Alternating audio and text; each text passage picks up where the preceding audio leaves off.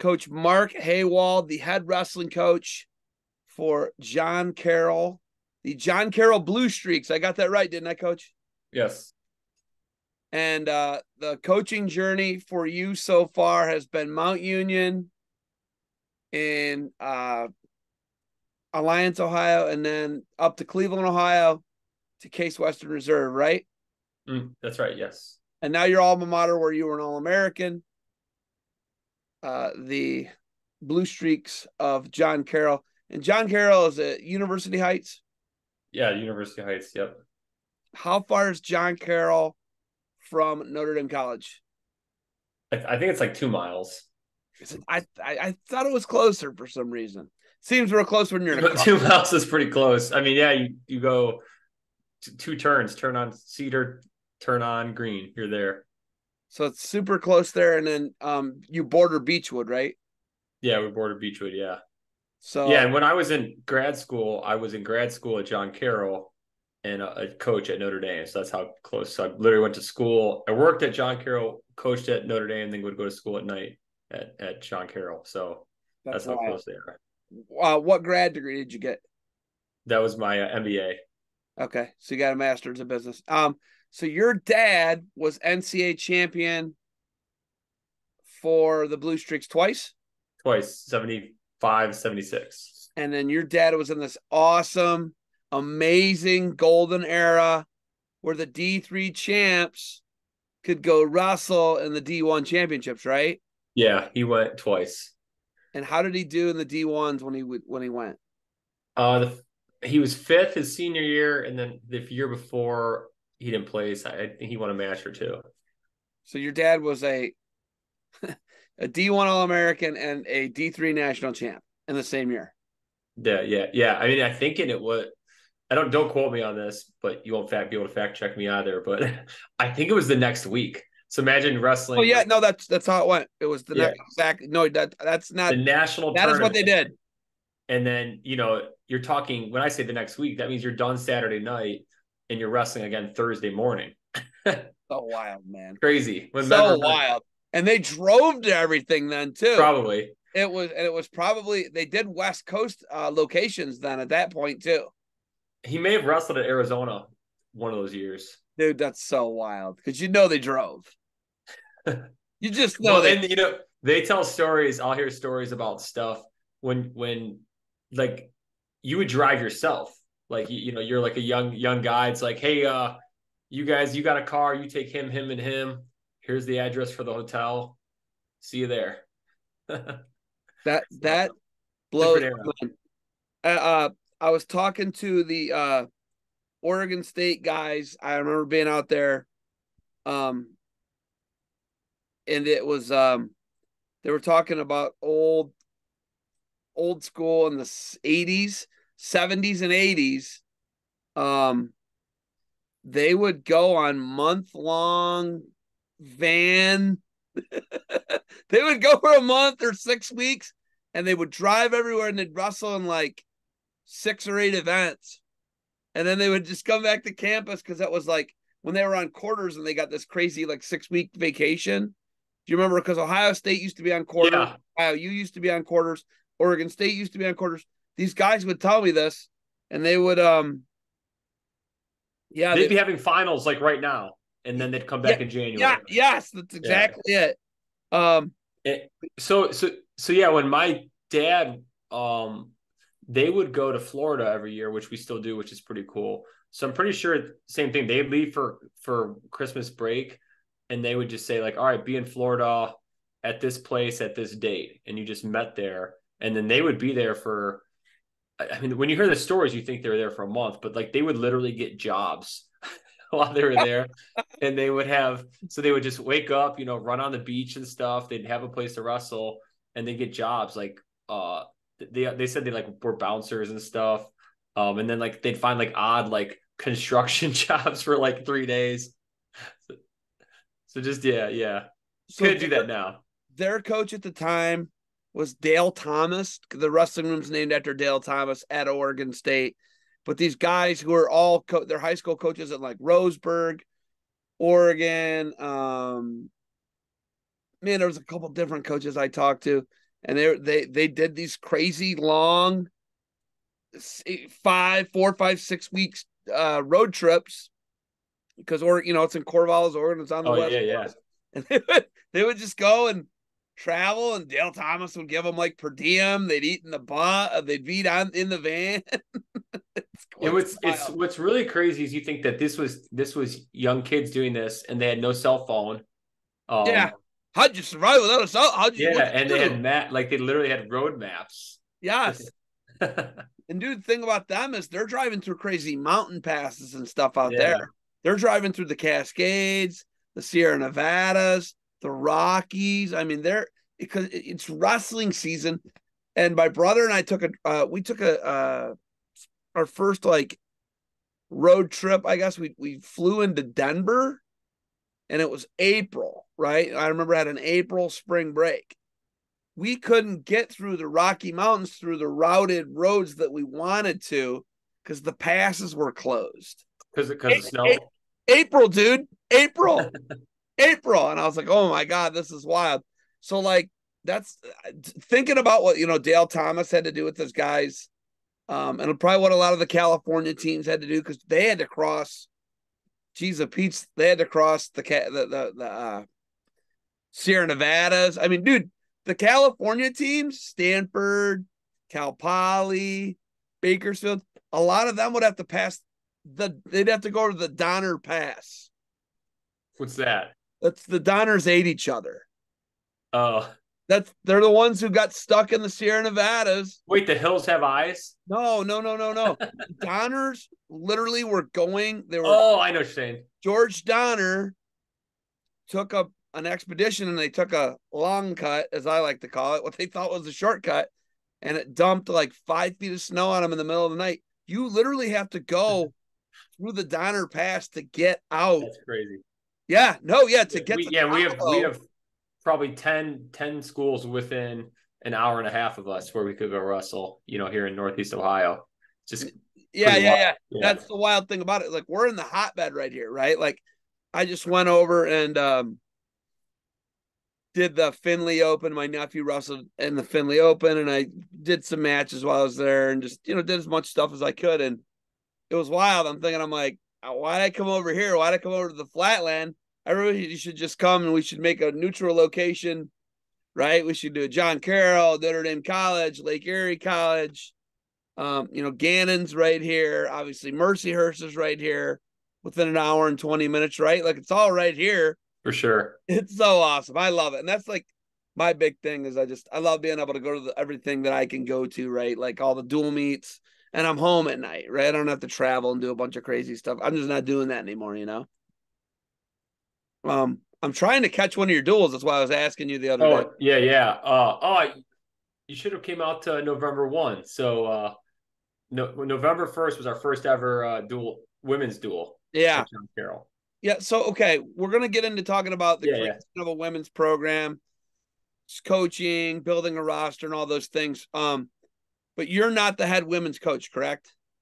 So, so we we have titles. We, you know, the titles are our actions are, are more fluid and, and we're collaborative. But technically, I am the head men's and women's coach.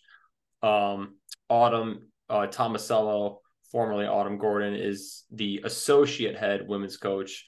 Um, and really, we just we're, we're we're a pretty dynamic group. I'd say our team the two of us, we don't really, yeah, technically I am her boss, but we don't really operate that way. We were pretty, pretty collaborative. Um, and really the, the design was to, for the most part, benefit the women's team because, you know, I'm only human. If I was the head men's coach, director of wrestling and head men's coach, and she reported to me, and I had nothing to do with that team, they're essentially not my problem, you know, and I, I don't want to sound crude, but that's just, that's right. You're, if you're the men's basketball coach, the, the women's team isn't your concern or vice versa. But, but in, in the design from the start, I thought this was important because I felt that was the only way we could truly run the women's program right, at, at least from the start. This could evolve and in, in the future, um, she may just be doing it by herself, but I don't, I don't know. I don't want to give it up. I love, I love working with the women's team. So, if anything, I might switch to her assistant. so, uh, but but right now, I mean, like I said, it's collaborative. She runs, she does most of the recruiting. She runs. We're pretty 50-50 on practice, I'd say, but she she runs, you know, a good chunk of it, of course. So you're born and bred John Carroll wrestling. You know, you're a family legacy. Your dad is one of the greatest wrestlers in the history of the program, right? He's a multiple time national champion at the D3 level. He's a D1 All American. You know, and I think of it, I'm like, I have interviewed your dad, you know, 10 plus years ago at a dual meet. Um, I did there, and you were actually coaching at Mount Union at the time. And I just think, you know, Hawald, the name Hawald is John Carroll wrestling to me. Um, what's it like being a, a legacy person, a multi generational person who has wrestled? And now you have sons of your own, and you know whether they're gonna end up at John Carroll or not, you know that remains to be seen. They wrestle, you know, but what's it like being a multi generational person and like the the first family, in my opinion, of John Carroll wrestling? What's that like for you? Uh I mean, I love it. Uh, it, it's it's interesting, you know. In life, you can go a lot of directions um, you can branch out and and do your own thing. But you know, I, I never I never left. Right, I grew up in Solon with the John Carroll. That that didn't bother me. You know, I had people who like you know give me a hard time, like oh, like you know you're not going to go away to school. I'm like no, I, I, found a good place. I like it. I'm comfortable. You know, I'm, I I love what I'm doing. So um yeah i mean i embrace that it's part of it's part of my my my story it's who i am my you know my mom and dad met on the gym floor essentially, right? You know, at where where I work and I literally walk by that space almost almost daily. Uh, you know, so that's that's that's just cool to me. I mean, and and my dad won his national title, his first one on that same gym floor. I mean, we, they hosted the nationals in 1975. He was a national champ. The team won a title. Um, you know, it's just it's just wild. Yeah, that I got to compete there. That my my grandmother watched my dad compete there. She she was like kind of my biggest fan, and she watched me compete there. You know, that's just that's cool. Um, you know, I'm kind of kind of isolated that I've never ventured further than 20 miles from home, I, other than a short stint at Mount Union. But no, I, I love that. It's it's it's who I am, and I really enjoy it. Yeah, the, the program you did, like I said, you bounced around to, to three Northeast Ohio Division three programs. Um, obviously, the goal and the eye on the prize was the prize was John Carroll being the head coach for the Blue Streaks. Uh, and, and Coach Volkman, did Coach Volkman coach your dad and you? No, just just me. So okay. so DeCarlo started it like 60, I should know the 63, 64. And then Volkman took over, I believe, in 89. And then I took over in 15. So I'm the third coach, which wow. is that's like a crazy stat in itself because you know there's places that have had three coaches in five years, and we've had three coaches in, in over 50 years. Yeah. Well, like that that's exactly what um Case is, right? Cases in that that situation where they've had three head coaches in five years, right? Yeah, yeah, yeah. I guess to that point, right? For sure, yeah. I wasn't thinking them, but yeah, for sure. I mean, there's probably a couple in Ohio, others in Ohio, but yeah, Notre Dame. Notre Dame has had, had that many in the last five years, or not Notre Dame. Um, yeah, Notre Dame has, and Lake Erie. Yeah. so yeah, right down the road, three schools. Yep. So yeah. Uh, you know, we talk about being in a hotbed. You're in Northeast Ohio. You went to one of the, I would say, a top 20 school, historically speaking, high school wise, if we're talking about the history of OHSAA wrestling. Some all time greats have come out of Solon, right? And, um, you, you know, you live in Solon now, right? I do. uh, but, you know, being in Northeast Ohio, what's it mean to being born, raised, and now raising your kids here? in Northeast Ohio. You know, you're the legacy of John Carroll. My dad met on the gym floor. Dad won an NCAA title on the gym floor. But what's it like to be back in your hometown? You know, it's not like you live out here by me and uh I think your parents live out by They do. They live in Bainbridge. They live in Bainbridge. I I live in Auburn. Let's get that straight. Yeah, yeah, yeah. Those yeah. are fighting words. You're not allowed to talk about that like that out here. Um, I had to tell the other lady the other day, the lady I was like, uh, she was reading my license to vote, and it says Chagrin Falls. Oh yeah, it's Auburn Township. It's yeah, Auburn. Yeah. The lady laughed at me and she handed it back and handed me my voting stuff. so it's like it gets a little it gets a little weird out here with that. But you're you didn't you're not out here, right? You're you're where you were raised and what's it like to be in the hometown? And will the boys go to Solon? Do they go to Solon? Yeah, they're at they're at Solon. Um, so yeah, I mean, I love it. Uh, it's, it's the same kind of thing, you know. And Solon's really weird because a lot of people live here who, um, like, I'll see people out like at like uh, Giant Eagle or whatever, you know, and I'm like, I know I don't know that person, but I know them, right? Like I'm like that person, you know, I may not have seen them for 20 years, but I'm like, I went to high school. Who is that for? You know, there's just and then friends, families, like people stick around, and it's a, it's a good school district.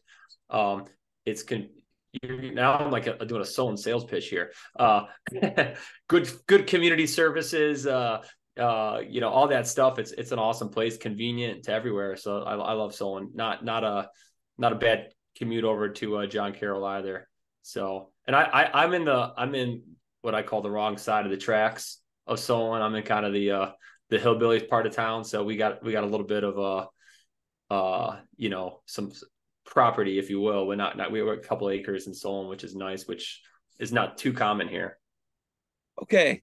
I take my kids to Goldfish School in Warrensville Heights, and we always go up. Is that Lee Road?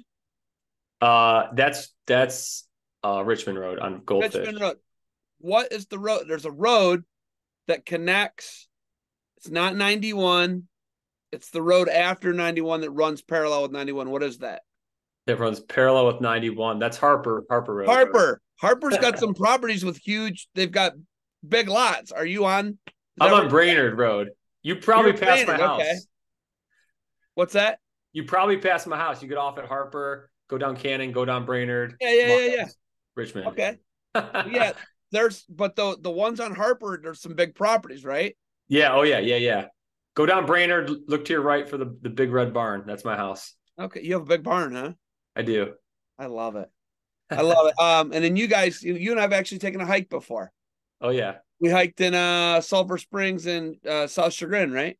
That's right. Yeah, yeah.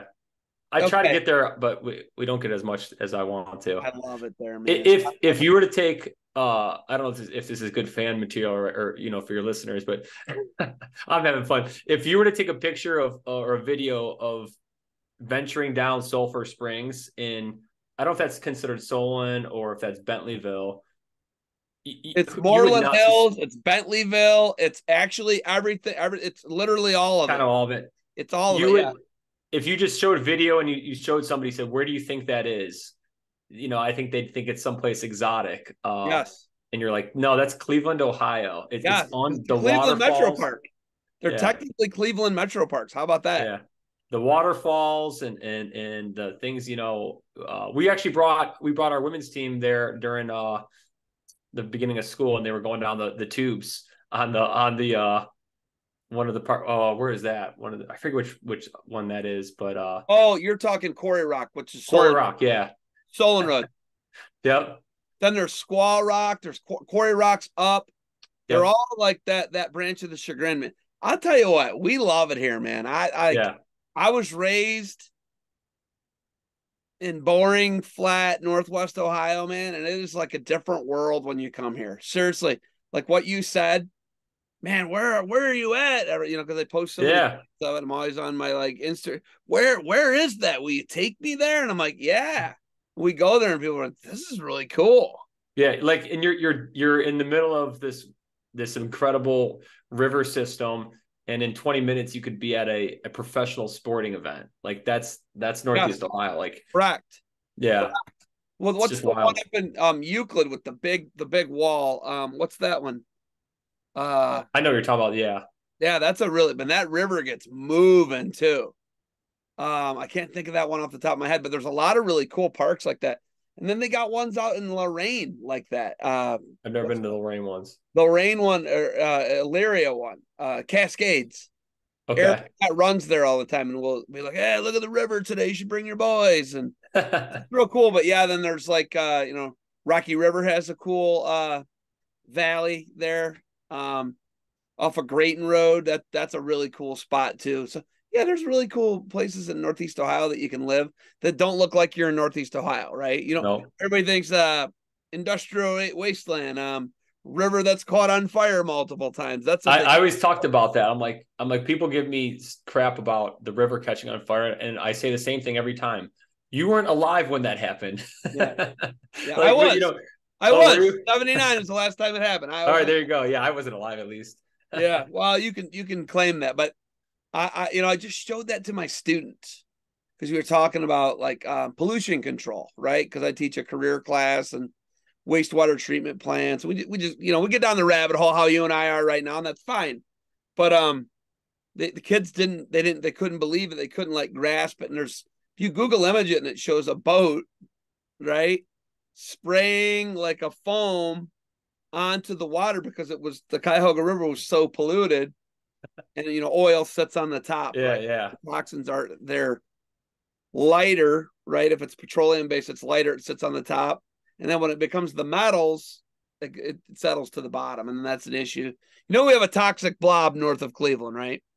I didn't know that. There's, please, while we're talking, it is it's it's heavy metals that are that sit on the bottom of Lake Erie, just north of Cleveland, a couple miles. Oh my, okay. And I'm, then it was I'm on the lake a lot in the summer. Yeah, it there's a toxic. Well, it's not it's at the bottom. You can't see it. Yeah, yeah. No, it's at the bottom and it like moves. Oh God.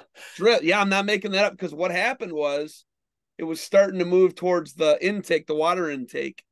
And once again, we talked about that in my class too. And the like right now, your mind's blown. You didn't know that. Yeah, now I'm nervous. You shouldn't be because it's something where it doesn't affect the intake of the water, and they treat the water so heavily. It's like, yeah, yeah. I mean, you would listen if there was a problem with it, you'd know all about it because there'd be massive amounts of, of sick people, right? Sure, yeah. We'd yeah. know at a heartbeat, but I, it's crazy the proximity of things in Cleveland, Ohio. It's it's got a spread out area, but it's also got a very, you know, where you guys on your campus, what, what are you, 15 minutes from downtown Cleveland, maybe? On a good day, yeah, 15. We can be, yeah. I mean, you can go down Belvoir and you see the skyline in, uh, you know, about three minutes from campus. You can see the skyline on Cedar Road and essentially take that all the way. Yeah, that's why I, I, do love the location there. Yeah, we're close close to the city where you have all the kind of the value and the benefits, but we're still suburban. Um, you know, kind of have all the the nice things of being in the, away from the city too. Are you ten minutes from Case? Yeah, more or less. Yeah, same thing. You know, obviously traffic can time of day, but yeah, ten minutes straight shot down. Cedar, pretty much same thing. 40 minutes from BW? Yeah, probably maybe the less. Yeah. Crazy. All in wall. Yeah. I mean, you've got like we just talked about, there's all these schools right here, man. it's it's the best. I love the location. And um, you know, Cleveland State, obviously you guys were dueling them for the longest time. Um, what's crazy for that is there's no benefit for the D1s to wrestle D2s or D3s. I don't, I don't yeah, like with the new, the really new like that. Not I'm a fan of that. Yeah, yeah. And so what's what's nuts is I was I found these articles when John Carroll wrestled Cleveland State in in like the 70s, the P- Cleveland Plain Dealer would have an article every day for a week, like a hype article, once one a day per week. And you know, and and the the I don't just I don't know if the Plain Dealer even prints anymore, but um in like the the latter days of wrestling print, like you couldn't even find the box score you know, but but in the 70s, literally there'd be hype hype stories every day about almost like a almost like a you know per match preview. Uh, and and and um, uh, you could take a wild guess who the uh who the writer was who wrote all those stories. It was uh Pat Galvin. I was just gonna say Galvencia, right? Yeah, yeah, he'd write all. I, I found all these things like, oh my god, Pat Galvin. So That's awesome, pretty crazy. Man. That's so crazy. It's just like it's changed so much, man. It's just like how quickly you know information moves right like it it just it, I, I can't wrap my brain around it because um you and i we're living in our kids world at this point right yeah. um I, I met the uh tiktok youtube guy this week from wisconsin parkside oh, okay Caden henschel and i talked to him and he told me he's got 280000 followers on um youtube and i've got like 11000 right and I thought about it, right? And, and he's start, you know, he's he's new at it. That guy's had more of an impact on wrestling in, in 12 to 18 months or however long he's been doing it. If you just look at the metrics of it, right? The metrics and the numbers and the people he reaches, he's got a couple hundred times the reach I have. Yeah, that's crazy. It's, it's wild, and what you and I are living, you know, to the point of plain dealer written previews every week, right? And to to Prince, not even you know, it's dead, right? Prince dead. It's a dead, it's a dead medium, right? It's a dead media that doesn't even kids and they're not even looking at it now, right? Everything's yeah. on Chromebook for the most part, or their MacBook, or whatever they're doing. But man, I'll tell you what, I'm a book guy still. I'm a, I like cardboard and paper. I like it. I, I think then it's a part of the nostalgia. I think, right? Um, but yeah, this kid, this YouTuber, hey, that guy can wrestle, by the way. Yeah, yeah, he was. I think didn't he go to? He was. I don't think he all American, but he he was like he was first or second seed, seed last year. Yeah, he was the two seed, and man, he looked really good. He's he's the dude's the real deal. He's not just some YouTube loudmouth. He is. Uh, I'll have to watch your your video because I'm curious how somebody balances being uh, a competitor and uh, a media person at the same time. Well, I can tell you that I know what he makes roughly off of his YouTube channel. He don't need to be a college student. Interesting. not need to be a college student, right? He's making. I, I mean, what I can see from the metrics of it, 280,000. Um, he's probably making a couple hundred thousand dollars just off um Google AdSense ra- ad revenue. Right. Oh my god. No, yeah. I mean, but I don't know what he does with each video. I haven't watched all the videos or anything. Yeah. But um, you know, he talked about that actually. He talked about what, you know, he had Austin Gomez on his podcast and he said that, you know, I'm not at college to be to get a degree. I'm at college to wrestle and win a national title and be a world and Olympic champion. Okay. And he's like, I'm not a, and I said, Hey, what degree are you going to get and not used? And he laughed and he said, finance degree or whatever. And he's like, oh. I'm not at college to, they don't need degrees anymore, Mark. I, I know that's scary. They don't need degrees anymore. They can go and do all these different things that are internet based to the whole point of why we're even here in this conversation is you and I are living in our kids' world. Yeah. I mean, hold on.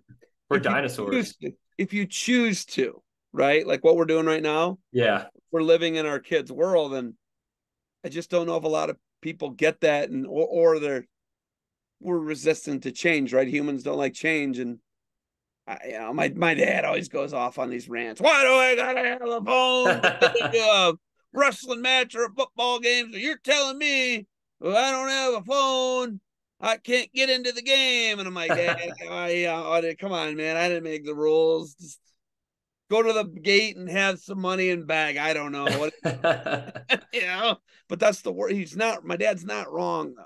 No, I mean, I, I think the key to anything is it's about, it's about, uh, not, not forgetting, you know, the past, but, but, but embracing the future too. Right. I mean, I think it's your point. You'd like to read I think that's great, but you're also on this digital stuff too. You know, you can't. I think if you go in one direction only, that's when uh that's when you got a problem.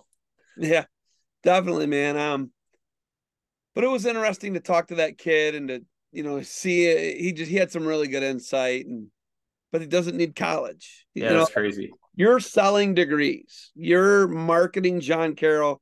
You're marketing a great private school education, right? That's that. That's what you're. That's what you're selling to. Mm-hmm. Selling Cleveland. We just gave your recruiting pitch. There, yeah, that's right. We, did. We just gave it. We just hey, look at your price. Yeah, I think Cleveland. You know, college, college in some ways, um, which you know, there's there's some issues with what I'm about to say. You know, your your the education is not necessarily the, the value of the degree, but it's it's the value of the education. Um, right. It's it's it's being cultured, being challenged. You know, finding you know, I, I once taught a college class and uh, I would always talk about the goal of the class is not to learn this material. The goal of this class is to, and it was, it was a uh, business. I'd call it like basically business algebra is essentially what it was. But, um, and I'd say the point of this class is not to learn this so you can learn, use this skill. It's to understand that there's set ways of doing things that somebody expects, figure out how to do it, and then apply it. And no, you won't use this skill specifically, but you will use the concept of learning and and following instruction and having a, a, goal and having a deadline. That's that's you know. But that being said, college becomes pretty expensive if if you're going just to be uh to be educated and not to have a specific piece of paper that provides you a you know automatic return. But things like accountants, obviously medicine, um, attorneys. You know, you'll always need that degree though. Well, yeah, there's just things like teaching, right? Education. You cannot, education, exactly. Cannot yeah. do. And I said that to the uh, Caden Henschel. I was like, well, yeah, I mean, I, am a, I've been a teacher, right? I, but you don't. He doesn't need to do that, right? He's got a YouTube channel. He's got TikTok. He's got all these other things that are streams of revenue where he's making five, ten times what I'm making as a teacher. Um, and, and, you know he's balancing it with being a college athlete. He's going to the classes. They're traveling. He's cutting weight. It, it's an impressive thing to say the least. And man, the kid is genuine. The kid hmm. was like, so I was just like telling him things. I'm like, man, you can wrestle. You're you're good. You're really good at wrestling. I mean, you're you're into this craft. You're into this. And he's like, well, thank you, man. And then you know, his impact is so much. His foot. Did he win the tournament? He did. He won. He he beat uh he beat Gamble from West Lib in a crazy semifinal. The guy, the kid can scramble. That was what okay. I was impressed with. He beat Gamble with a really nice scramble, and then um he beat the indie dude in the finals. Rue, okay. I want to say the guy's name is top ten guy. Okay. So um yeah, I was just super impressed with the kid, but he understands the responsibility that he has. Uh, you know, he's not on his thing cursing a bunch. Yeah, yeah, yeah. Uh, you know, he's the kid understands he's responsible. How about that? He's very responsible for his audience, and he he gets it. So I like that about it. That was really impressive to me. But you and I are living in not a plain dealer world anymore. We're not in a plain dealer world anymore. Um, let's talk John Carroll's women's wrestling. Let's talk Lady Blue Streaks and uh talk to me about how it started and give me the brainchild and when it first came into existence as a conversation and then the steps to creating a women's program at John Carroll. Um, so I think, I mean, the very first time I, I think I ever mentioned, I've, I've had an, uh, an interest for a while. Honestly, I went to the world championships in 2011, which was in Istanbul. And I think when I came back from there, I was like, that would be cool to have a women's team because I, I saw things there that I never saw to understand women's wrestling, right? Which which is just a matter of I had no I never saw anything. I never saw women's wrestling. You just hear about it and you don't you don't really know the story. But when I was there, I was like, this is cool. Gained a lot of respect for the sport at that point. Um, but you know, there was no really no avenue to to to go anywhere with it. But in I forget when it became uh the emerging sport status. That was the first time I think I ever kind of like was like, hey, we should consider this, you know, and kind of po- poke the idea around. And then uh but it was really genuinely when it became when Iowa added, when it became sanctioned in Ohio, um, in this state, you know, for the high school. There might have been like one other thing that I was able to like walk in and be like, hey, this is this is for real. Right. When the University of Iowa, a Big Ten is adding it, to our state is sanctioning it. This is not this, you know, side little thing that's going on. This is a, the real deal. And I want to be on the, the forefront of it. Um, so that I, I it was funny because I put a post on on my social media that it was the two year anniversary was like October 21st or 22nd. So like October 21st, 2021, sent an email, laid out all this stuff, basically though asking for a conversation. That conversation led to more conversations. That conversation led to meetings. I mean, the the presentation, I had this this packet I put together. Um, it was uh it was a lot, like very detailed, broken. Any anything you could possibly ask about it. I mean, because the universe, it's not like high school. Hey, let's just add it, see what happens. Like this is a big investment. You have to add a position. There's there's Title IX impacts. There's all these things. So they wanted to make sure it was the right choice. So that was October. By July, we, we made the announcement of of last year. We hired Autumn in August, and then we just started uh started recruiting. So our first year was last year just recruiting. Um, our goal was 20 to bring in 20 girls. We brought in we brought in 12 plus uh plus one who was on campus already. So 13 on the on the roster. So what happened? It says they got the emerging sports status in 2020, 2021. Okay. So man, I like doing a little research on the fly here. I mean, That's good. Man, yeah. Right? So yeah, and then uh um, you know, for me, like my motivation, like it was, I like coaching. I like, you know, and I think I'm good at coaching. You know, whether we've we've done anything big time or not, that's that's to be, you know, I guess in the eye of the beholder. Maybe you know, some people say I'm, I'm amazing at times. I'm like, I've accomplished literally nothing that I wanted to do, but you know, whatever. But uh, I think I, do, but at the very least, I know I, I impact kids. I impact young people. I believe in the John Carroll education. I believe in our wrestling team, and I was like, why not? Let's let's open this up to to ladies. Um, and also just the fact that if, if you like what you do, why not do more of it? You know what I mean? Like in your case, if you say, hey, yeah, it's more more work to go to a second place, but if you had fun at the first one, why not? You know, so that's kind of how I feel. So that's where we're at. We're at with you know, and, and what why uh Autumn? What was Autumn's maiden name, by the way? Autumn Gordon. So Autumn Gordon, and where is Autumn from? She grew up in um what I say is Lancaster. She says Lanc- Lanc- Lancaster. Lancaster. Lancaster. Lancaster. Yeah. Lancaster. Yeah. So right. I don't know. I say Lancaster, but that's how that's how it because because it is Lancaster. But uh, they say Lancaster near, near, Columbus. Her her coach was a guy named Dugan Bentley, um, who who actually was the coach at Beechwood up here for a little bit. He wrestled at Ashland. He was an All American at Ashland, wasn't he? I it, if he wasn't, he was he was pretty darn. No, he definitely was. He was Dugan Bentley. Okay, yeah, yeah. He was he was good. I mean, I yeah. think Dugan Bentley's from like Groveport, Madison. That sounds right. Yeah. um, Groveport, Madison. He's probably he's probably about your age. He's probably yeah, yeah. That's what I'm saying. I, I that's why he's like yeah. And then uh, yeah, and then she came up.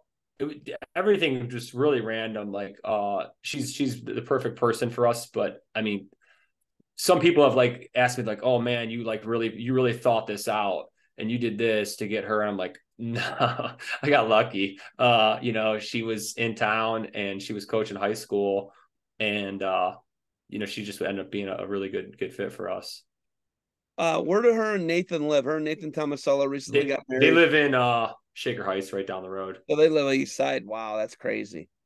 And um, Nathan is running his club out of CVCA. Uh, he's yeah, he's, he's doing that John Carroll now. Is it John Carroll? Perfect. Yeah, yeah. Even better. Even yeah, exactly. better. He did a fall club. Uh, we haven't really. He's not doing anything at the moment, but he might do something. We might do a freestyle thing in the in the springtime. Nice. Uh, so we talk about, you know, you got 13 girls on campus right now. You had your first event November one on the floor where your dad won an NCAA title. Yeah. You wrestled all your home dual meets. Uh, now you're the head coach. How special was that first uh, girls duel meet for you guys at the? Uh... It, it's I'm getting goosebumps just just you asking it. Uh, so our first it was against Lourdes uh, out from Toledo. Uh, really appreciative they came out because it's hard to get duels. That's that was literally our only head to head duel all season at home. We have what try meet, but uh, um, the very first match was an exhibition match. Uh, we had I think nine girls wrestle. Um, so eight eight matches in the duel and then one exhibition. First match was the exhibition. Our girl won. She pinned pinned the other girl. I've never heard our gym this loud. It was insane. Like so loud you you felt it like you felt the loudness, you know what I mean, in your body. I mean, it was it was more packed than any any duel we've ever had. One year uh, it was actually COVID year before COVID happened. We were pretty good. Baldwin Wallace is pretty good. They were at our place. It was it was awesome duel. It was loud, packed, but this was more packed. And then a lot of a lot of like high school brought their girls and, and girls are just so loud at wrestling matches. So it was it was insane. I mean, so just seeing that first win was was so cool. Um, you know, and it's it's uh, you know, different. It's a different type of of memory, you know, and and thing compared to some of the men's memories I have. But yeah, I'll remember that forever. So you know, it's roster driven in D two and D three. They want to, mm-hmm. they want you guys to have as big of a roster as you can, right? They want as Correct. many athletes on the team as they can get. That draws more students into the school. More people who are in, in, in theory will be paying tuition, room and board, right? That's kind of where it's at. This is the business model of it. But now you've got a whole nother, like you said, you love something once. Why not why not run it back, do it again, double it up, right? Yep. Well, now you've got this issue again where it's going to be different though, because all of them are because there's not uh, going to be a bunch of divisions like there is in men's. They're going to have to all kind of wrestle in one division to start, aren't they? That's right. Yeah, and and there's some uh, I don't know, like some I don't know what the right word is, not confusion, but there's some question out there because uh D3 technically has enough teams we could have our own division 3 championship with women's. I believe we have about 60 women's teams. Wow. So, D3 yeah, it's crazy. NCAA does? Division three, yeah, has I, I, think it's sixty. Wow! I mean, you're you're talking almost half of of the men's programs. Uh, so that's um, amazing. And they wrestle freestyle, right? It's freestyle, yeah. That's Which another I, thing. Like I love talking about this because so no knows anything. Nobody knows anything. You, I love so here's my here's like my day. I go to a freestyle practice and then I go to a folk style practice, and I love it. I would probably hate doing two freestyles in a row or two folk styles in a row. But the fact that I get to do both is is so it's fun. Um, and then you know it's, what's really interesting. I had people say to me who didn't really understand the difference and whatever at after our duel. They go, it's so much. They go, I don't know what these rules are, but it's so much better. And and their reasoning was like if you're the common fan, you watch like a two minute leg ride, basically. You're like, oh, that stunk. But they just keep bringing them up and they just keep going, and there's always something. Um, you know happening because of the because of the freestyle rules. So, but like if if I I wouldn't want to pick if you had a if you said hey we we're gonna move men's to to freestyle I'd be mad. If you said we're moving women to folk style I'd be mad. Selfishly, I loved I love doing both. It's so cool. I love it. I love that you're you have these like really good problems. Like, uh, how are we going to draw more? You know, how are we going to draw more girls into wrestling at John Carroll? But what you do a really good job of, Mark, you know, you you already brought it up. They used to do the Florida thing, and you still do the Florida thing. You do a lot of destination stuff. You've taken the teams to Italy. You travel all over the world. You'll take them to New York City. You're not scared to travel with your team and make these destination events.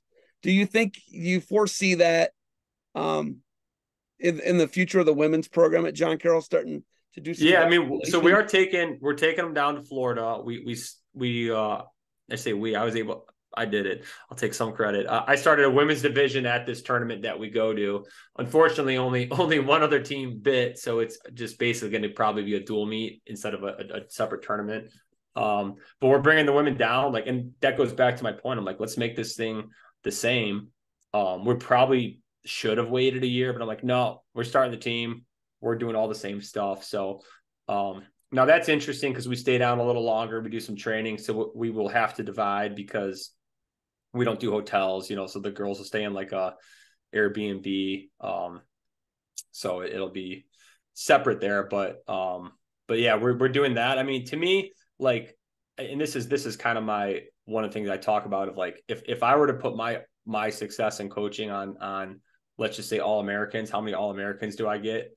Um, let's say we have 30 wrestlers a year like I'm I'm guaranteeing myself a, a two thirds failure rate before the season starts, right? If if 20 guys won't all American, 10 do, that's still a failure essentially, even though you'd be a pretty darn good coach with 10 all Americans. So to me, it's about like we want to win, we want to be the best we can be, but like we gotta give something to every guy and every girl on the team. Like they they have to have.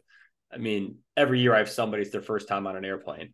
Wow. You know, we always we always ask. I usually try to get them to get a picture with uh pilot, uh, you know, but first time on an airplane. Um, we have people, you know, getting passports to go overseas with us. Like they've never done that before. Um, so like, yeah, providing those experiences, um, and, and doing it with like, you know, these, these people who are your closest friends. And I, I tell, it's kind of funny because I say this to the guys, you know, I've always said, I'm like, you'll get married one day and, and some of these guys will be standing up there with you. And now I'm like, it's kind of weird. I said it to the girls now, you know, same thing. Like you're gonna get married one day, and and these ladies will be up there, you know, with you as as uh, your bridesmaids. So um, these are the kind of people you're you're you're meeting and spending time with, and now you get to go do these these fun trips while hopefully still busting your butt, you know, every day at practice and trying to to accomplish some big things too.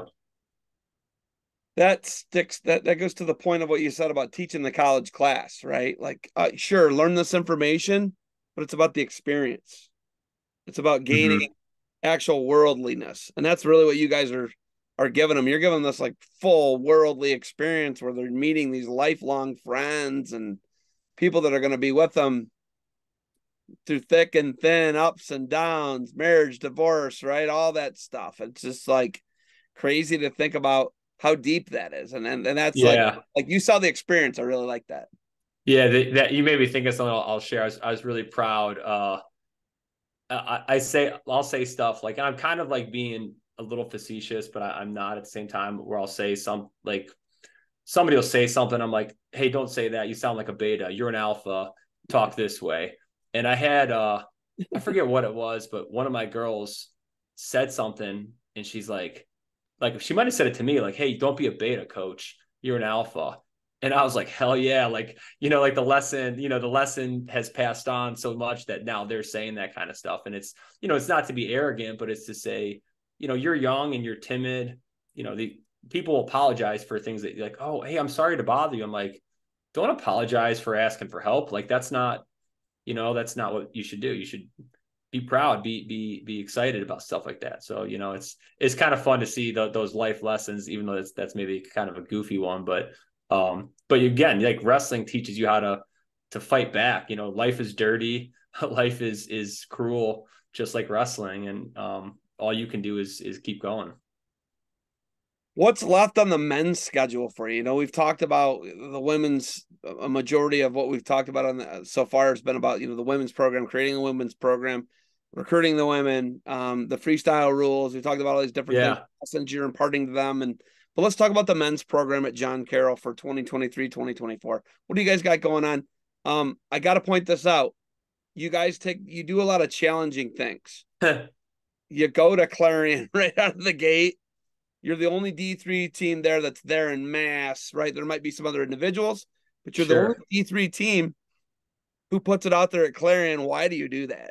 Well, last year at the national tournament, I just felt we hadn't had enough fights all year. Like we had, you know, we'll go to a tournament, we'll have a guy get beat up in the finals, let's say, but he uh he techs his way to the finals and then gets beat up. So I'm like, so that in that process, this guy literally did not learn how to win a match in a, a hard fought situation, right? Um, so that's just kind of one example. But I said, you know what, let's just let's just go hard. Let's just throw these guys to the wolves right away.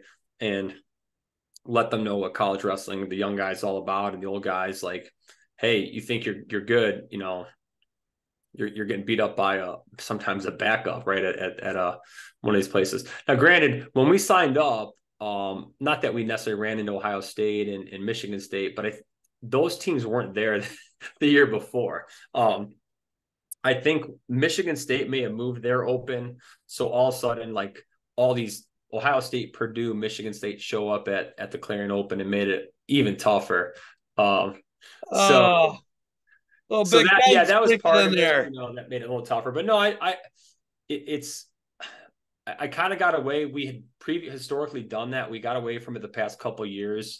And like I said, at the national tournament, I just felt like, man, we we got to, like, what am I padding records? Like, am I protecting guys? Let's let's let's get them beat up a little bit. And then we did. uh I th- I thought we wrestled great. Like I really do. I think even though we only won maybe five six matches on the day, um, maybe less than that even, but uh, I felt we wrestled hard. These guys, we didn't we didn't we've got out out like matched, but we didn't get bullied. You know, we didn't we didn't concede. We didn't. Um, you know, I I never. No one said anything to me, but one of my coaches said, like another coach came up to him was like, "You guys look good. Like that's I'm impressed. Like." You guys are are holding your own. You're not looking like you know like a, a fish out of water here. Um, and then we went to Case last week for their Open, the Ohio Intercollegiate Open, which was stepped down, and then we were at Albion um, yesterday. So uh, which was a D, pretty much a D three, and it's some uh, JUCO, Michigan JUCOs. So I think that was good because we, you know, now we're competing at our, our level um, with some D three programs, and and we had guys you know, freshmen placing in this tournament, things like that, and, and guys winning a tournament. So it's hopefully, you know, that that toughness paid off. But um, and then we'll do the Mount Union Open in January, which is probably more like the case, you know, more so red shirts and some D twos uh but still still tough, right? You got to get out of the division. We talk about you and I talk about the D two, D three, D one, NAI, JUCO. We talk about the levels, right? Um, a lot when when we discuss things. And how do you how do you tell a kid? You know, every, we already know the problem. The problem is everybody thinks their kid's D one. Mm-hmm. It's just not reality. It's it's like, and a lot of people got to learn the hard way. They got to go and get mangled for a year, right? Or a semester. They got to go and get mangled.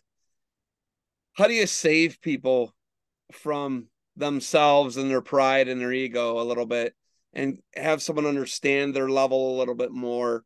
Or do you just move on from those kids and catch them on a rebound? What do you do as far as when you're trying to impart to people that we're at a very, this is probably the most competitive NCAA tournament. You know, obviously the D2 continues to grow, but you guys got the most teams, right? Sure, yeah. But how yeah, do you that? I mean, that? And there's D3 guys who I think there's a guy on the Greco team who um a D3 wrestler. He's like the number one guy, the uh Rau, uh R A U. Uh, Joe uh, Rau, Joseph Rau. Yeah, he wrestled at Elmhurst. I think yeah. he's the number one guy right now. So he's a D three national champ. Yeah, he's uh, a, he wrestled in the world championships. Yeah, yeah, yeah, just wrestled the worlds. Yeah, that's right. He's a coach. So, at, uh, he's a coach at Northwestern. So there's D three guys going to world championships for for the USA. Um, I mean, look at Tervel Dlagnev is is a D two guy. So, uh, so obviously, I'm not saying that every every D three guy is going to become an Olympian, but um, certainly good guys come out of here. So no, to me, it's it's our sport is weird, and even if as a dad you're like, oh, I want my kid to be a state champ or all American, and and sometimes.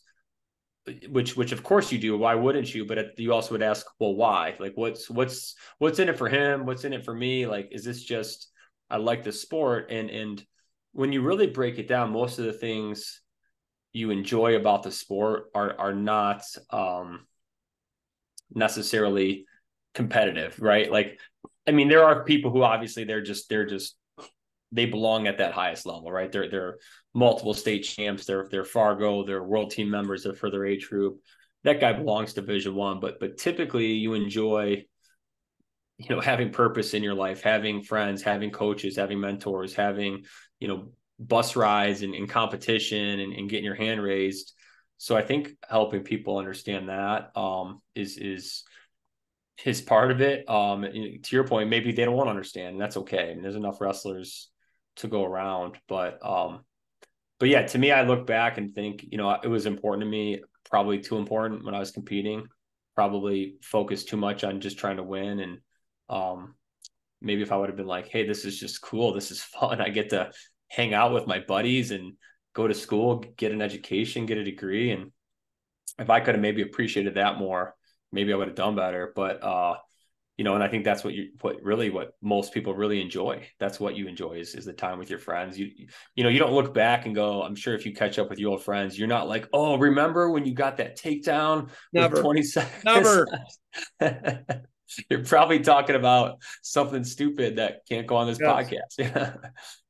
So yeah, I, I, you know, and I, I, at times I'll tell you if I'm like at the D1 tournament, let's say as as a, uh, you know, as a fan, or I'm at the Worlds or something, or you know, big event, and I walk around, I feel so pathetic because I'll just be like national champ, Olympian, national champ. You know what I mean? You just your ego just gets crushed, and then, uh, you know, so if, if that if that matters to you as a young kid, then then go D1. But if you're like, I just like the sport, I just like to compete, I just like to wrestle um, I just like the camaraderie. I mean, then you got to find the right school and the right coaching staff. Really, is is your should be your priority. And it's like I I get to see all the levels up in my family, man, and my you know my nephews. That's I get to see it that right, like you're oh, saying. Oh yeah, I got a, a nephew, Ian Miller, right, three time D1 All American. We know that guy's a blue chipper. We get that right. And then I got a nephew, Wyatt. He goes to App State for two years and D ones wins D one matches. He, he's a D one guy, but his body breaks down, right? So that's a big thing with you guys. You guys aren't you're not grinding your guys like like the Ohio State staff's grinding their guys because those guys are trying to beat Iowa and they're trying to beat Penn State, Michigan, and yeah, Wisconsin. Yeah, like we're off this week. We, we're pretty much off the entire week. Uh, yes. Hey, Thanksgiving, go home, enjoy time with your family. uh, keep your weight down. See on see on Monday. Yeah, they, I don't think they're getting that. I don't, I don't think they're getting that. As a matter of fact, was it Iowa and Iowa State Russell this week? Yeah, on Sunday, dude. They, they they ain't taking Thanksgiving off. I can tell you that much. Yeah, right. I think Thanksgiving's an, an overrated holiday anyway, but uh, sure. but still, it's but you're supposed to spend time with family. You're supposed to eat right. more food, and and you know, in in 20, 19, 20, 21 year old kids, they should be doing that. That's that's normal. Um, yes, and you could be, and it's again like still be a crazy psycho and, and Russell all day every day, but it, to take three four days off is not. No, it's not not, not going to kill you. Yeah. No, you know, and then uh, so then I had a nephew last year who was a state placer in Ohio. He took a uh, fourth in D three.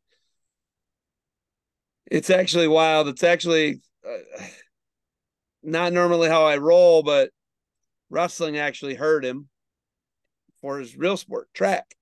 Oh, right? no kidding. Yeah. So um he uh he was fourth in D three in Ohio at 138 pounds. He's six foot two, right? He's big. And he, so he had to cut a lot of weight.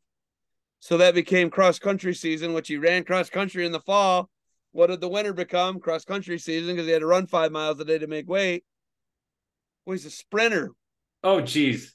Yeah. So, so that is not what you don't want. Heck no. Yeah. yeah. Bolt's not putting in five miles a day, right? It's explosion. Yeah. So, you know, he took, and then he, okay, so last year in D2, Ohio, he took fourth in, in track in the 400 hmm. ran a 49, whatever he ran, 49.5 or something.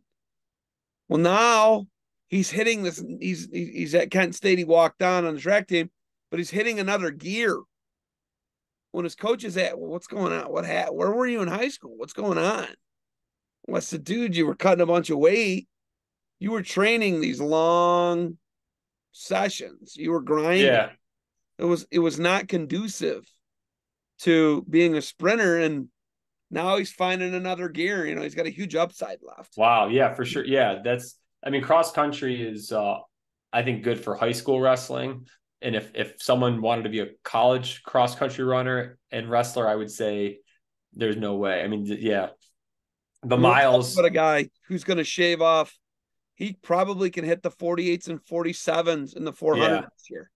But yeah, for sprinting, yeah, that's that had to be horrible. Yeah, I mean wrestling. Well, yeah, that's yeah. why I explained that to him. Yeah, like, yeah, for sure. a different sport. You were yeah. doing something that was ant what was bad. It was making you. Yeah, yeah. If he was a miler or two miler, different. Yeah. Story. Oh yeah. Hey. Yeah. Right. But like, it's wild to think about it, right? I mean, they had a kid who ran a forty-six.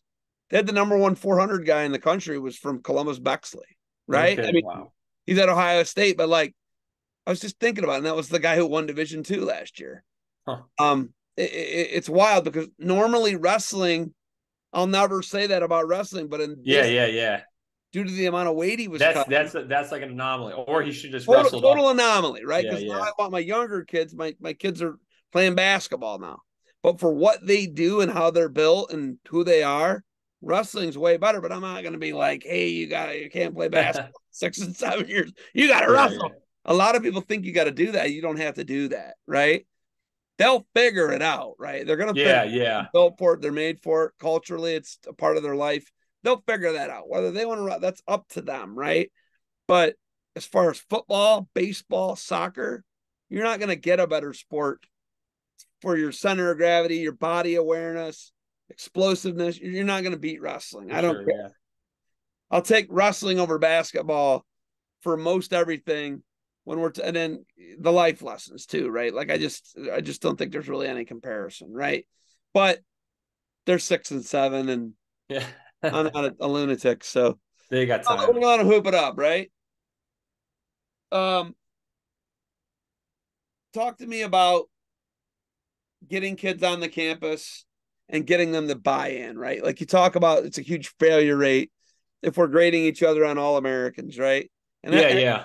D1, literally all they care about and all they talk about. Yeah. Those guys measure themselves by that. We're trying to get kids to buy into a program, become men and women now that you have a women's team mm-hmm. and, and, prepare them for the for the for life, right? That's ultimately what you're trying to do. You're trying to be a leader, a mentor, right? All American, qual national qualifier aces. Let's do it, right? Sure. How do you get them to buy into the service that you're, know, be like being? Yeah, I mean, so I say, yeah, to the All American piece. Like, I'm like, the moment you step in the room, that's all that matters. Like, that's all.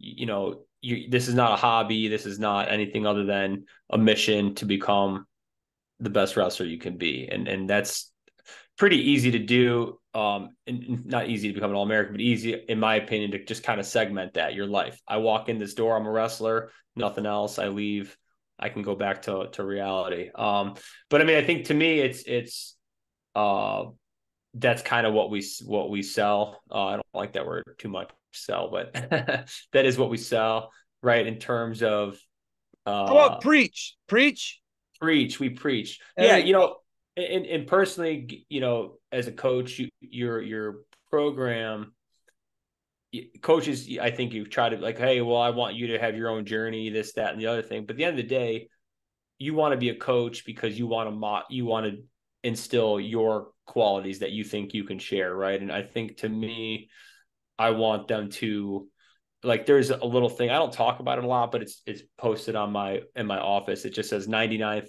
percentile. And you know that's you understand that as as a teacher what you know what that means which is you know basically put 100 people in a room and, and uh, you're at the top right? And, and but what i want to think them to think of is how can you view that for for life? Like are you in the 99th percentile of life? Um and and go back to travels right? And not that we're comparing ourselves to other people but we kind of are of like have I been to more places than other people, right? Like every time you get on an airplane and get to do something fun and exciting, know that a lot of people a don't have the the resources or b the the desire or you know people are content just sitting around doing nothing um and so we want to be in the 99th percentile of, of our accomplishments our our our friendships our journeys our experiences you know um our income. So you could say it about almost anything, I suppose. So that's kind of my philosophy. And and look at our Florida trip. Like that's an example. We're traveling, we're having fun.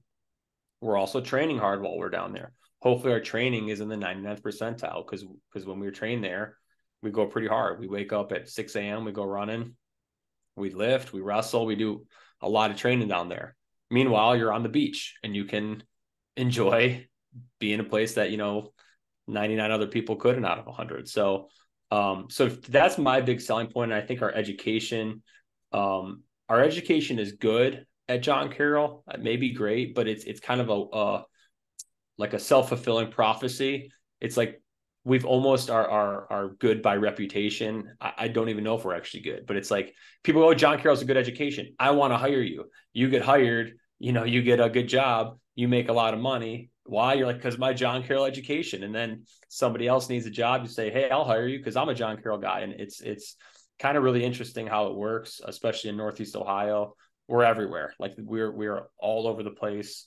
Um, you know, I'll be talking all the time with someone. I've known them for years. They're like, oh yeah, I went to Carroll. I'm like, you did? You know, you didn't you never told me that. So um, and it's just and then people believe it, it helped them get them where they are and, and they want to spread that. So for me, that's a big thing that we have is, is just that network of people um, all over the place. Um, and, and quite frankly, from a recruiting standpoint, like I feel like a lot of we get a lot of layups. Like people like, hey, this person is so and so's friend or you know cousin or son and or daughter now, and um, like they come and they tell us what they like about the university before they even get here. I was like, oh, that that's nice. That makes my job easy. So a lot of that is just the reputation.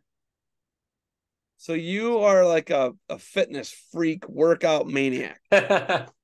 Something like that. you seen some of my like, videos? You're you're the most shredded dude I've seen that's in college coaching right now. Like it, it is like you and John Reeder, right? John, like you guys are you're wackos. You love to do... kick my ass though. well, I wouldn't step up to him. I didn't say that. I didn't say we were gonna have a match or anything. Um, I could see you doing the hundred mile race that him and Bono did though.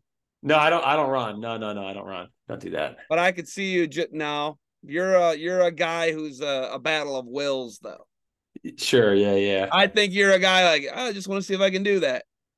You know, Jacob Casper had to inspire his one brother, had Jacob Casper on.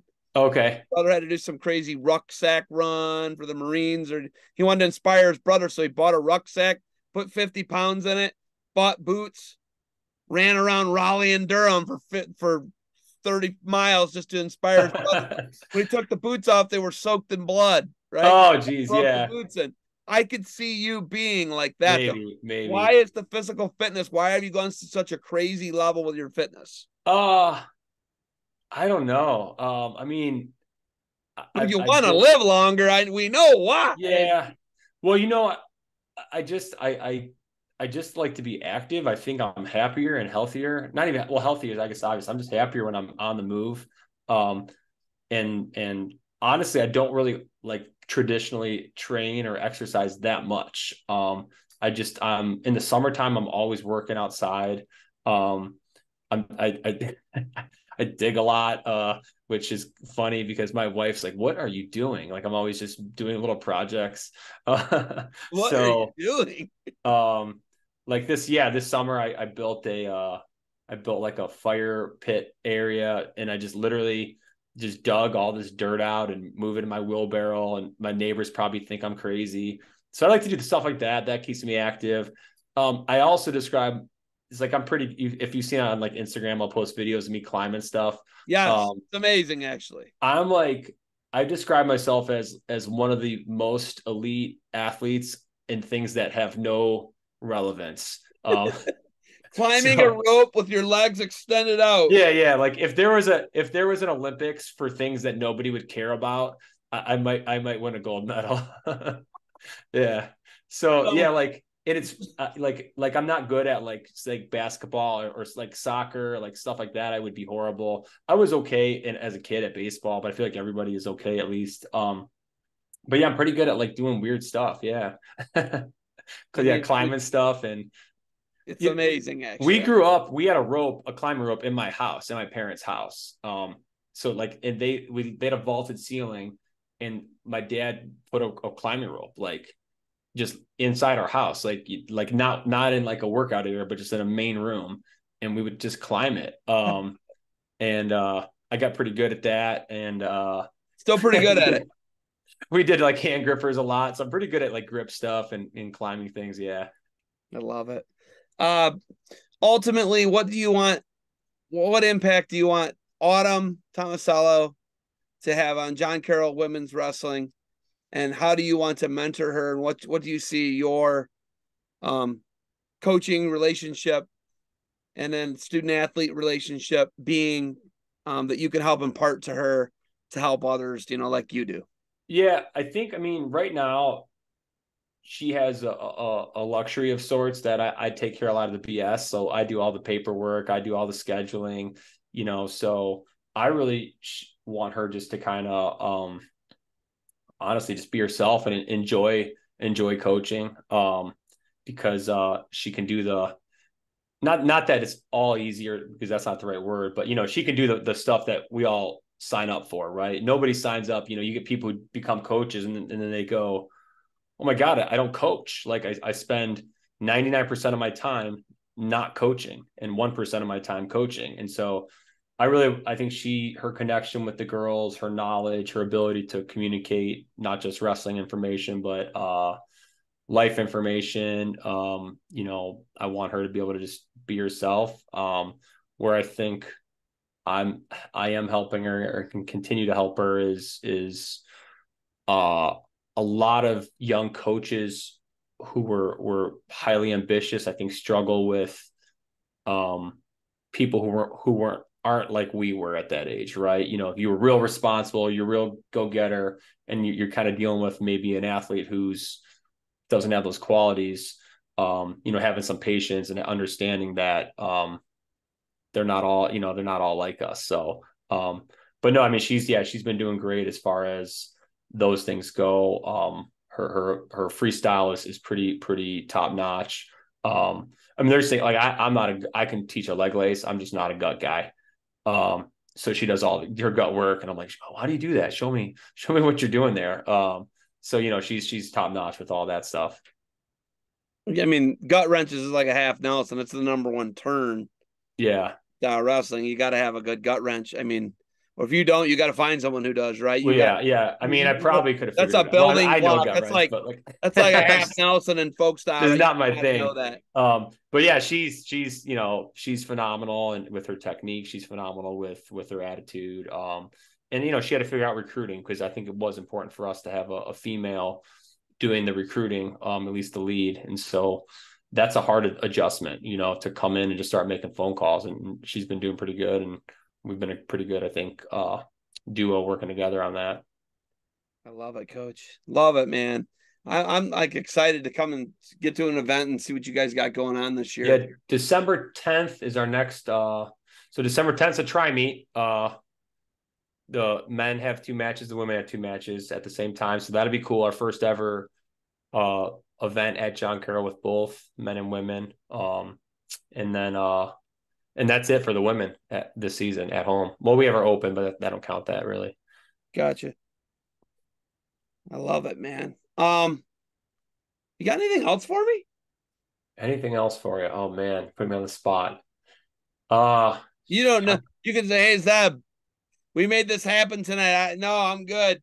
I want to get ready and focus on Thanksgiving and uh... yeah, no, we're going we're uh going to Oglebay tomorrow. So yeah, that's our little annual Thanksgiving trip. So where is that? Oglebay. It's it's oh here I'll, I'll finish with a good story. Uh, if you ever go to Oglebay, Oglebay, Oglebay, it's Wheeling, West Virginia, basically. Um, and it's a it's a essentially a golf resort, ski resort, and so it's kind of the off time right now. And they have Christmas lights, tons of Christmas lights um, that you drive, you literally drive through, and just have music and just you know miles of Christmas lights. But uh, we were there last year, and I found out there's like a uh, a golden palace hidden in the backwoods of West Virginia, right outside of Wheeling, and it was like a um what it's called like the Hare Krishnas. They built a uh, palace in West Virginia in like the 70s, um, or maybe it was the 80s. And uh, I was like, we got to go. And so we went, and uh, it's pretty interesting. So I, I, it's called new new something, but look, just type in gold. Go on your phone, look up Golden Palace, Wheeling, I'm West Virginia. now. And yeah, are you gonna do it right now? Yeah. And oh, oh, uh, oh yeah, you don't get to, I, that. I'm gonna forget about and have to. T- no. Golden and, Palace. Wheeling. Oh, oh my goodness. What? what? what? Yeah, it's crazy. Oh my gosh. What's it called? New something? McCreary's Ridge Road, Palace of Gold, Moundsville. McCreary Ridge Road, Moundsville, West Virginia. There you go. And it turned out that, and then we found out she was like, Why'd you take me here? My wife was, and I was like, Because I had to, you know, you don't find out there's a Golden Palace. That's it. Yeah, yeah. Oh my, god, that's in West Virginia. Yep. You're just driving it through like up and down hills and winding roads, and all of a sudden you see this palace, and uh, there's like a big wall. Dude, and it's amazing. I'm like looking at it. It's got a it's, big pond. It's, it's run down now, but um, turns out there was like murders and stuff there, and so no, you know, they tend to frown upon murders at your in your grounds and so there was uh there's like a I think it was a you we couldn't find it anywhere, but it's on YouTube. It was like a little like hour long special about the murders that happened there. So um so I watched it that night after. Yeah, you know what it's called? It's called Wrong Turn. Have you ever seen those movies? yeah, yeah. Don't watch them. Don't show those to anybody before you go tomorrow. Trust me. yeah, me. so anyway, that would be my my my uh my advice to anyone out there. Go to uh go to uh, Oglebay and, and the Golden Palace in Wheeling, West Virginia. That's where we'll be. To, uh, well, we won't go to the palace again. That I was I was banned by my wife to ever go again. So oh and uh yeah, come see us December 10th, February 15th. We're at home and uh appreciate what you do, Zeb. It's it's awesome to have uh someone who uh does so much for the sport. So thank you. Thanks, man. I appreciate it. Hey, thank you for being patient with me. You and I were bopping back and forth. I cancel. You can't. Uh, thank you for playing the phone tag and the yeah. The no, I love coming on. Man, I appreciate your patience, Coach Hawald. Thank you for coming on the GOhioCast podcast. This is the uh GOhioCast podcast. You've been on yep. Barbar- Barbarian Hours just right there. Oh, I see it. Okay. Oh, you just shift I mean, the camera just like that. It's New- real tough, right? It's real tough. It's all smoke and mirrors here, right? Yeah. Like Steven Spielberg. I mean, then I'll have another one where I'll I'll have a I'll have another wall. I mean, it's just I'll, it's, it's easy. It's easy peasy. Kent State wrestling one. I do a Kent State wrestling one. We oh, do oh, nice. all types of them. So, Coach Hawald, thank you for the time. Stick around. And we will hopefully see you December. What time does it start on December 10th? I think it's noon. I'll, I'll double check though. Coach Hawald, thanks again. All right. Thanks, Sam.